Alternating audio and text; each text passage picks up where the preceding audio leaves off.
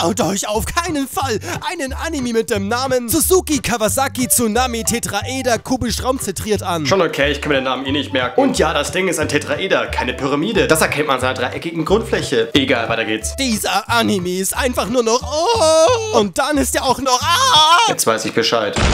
Was geht ab, ihr kleinen Schlingel? Ich begrüße euch zu einer weiteren Episode von...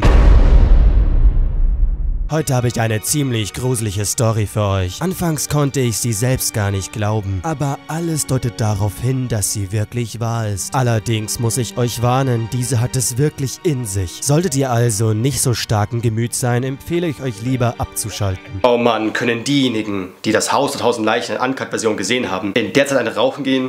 Das Mädchen scheißt Süßigkeiten, einfach so. Und als nächstes passiert das. Oh. Sechseinhalb Stunden später. Was? Oh mein Gott! Und, und als nächstes das auch noch! What the fuck? Was ist...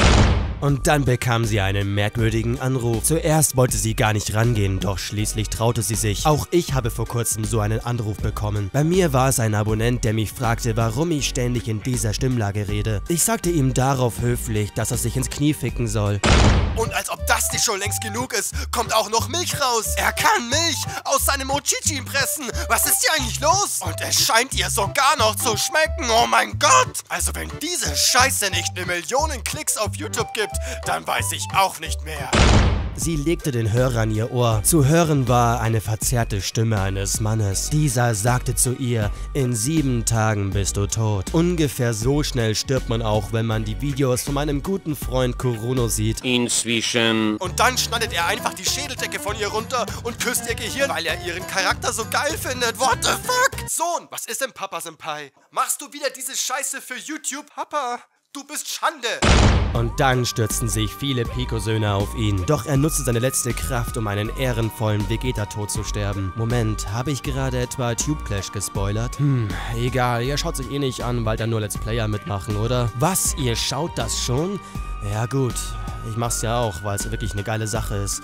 Genauso geil wie die Videos von meinem Freund Korono, in dem man in binnen sieben Tagen stirbt.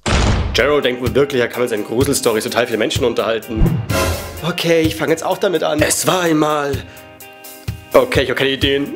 Das Ganze ist nur eine Parodie, es sollen die Zuschauer, die jetzt glauben, so Gott, ich habe gerade ihre Idole beleidigt, das ist nur Spaß, das ist alles hier nur Spaß. Ich würde mich natürlich sehr freuen, wenn Kuro und Jero einfach mal reinschreiben in die Kommentare, was sie davon gehalten haben, von dem Ganzen hier. War wirklich nur Spaß, also ich hoffe auch, ihr habt den Humor dafür.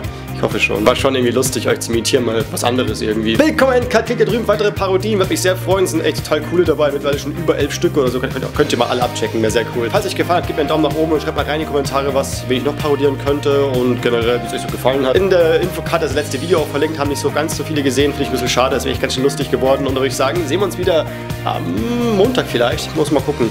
Bis dann Leute, ciao, ciao, ich gehe jetzt. Juhu!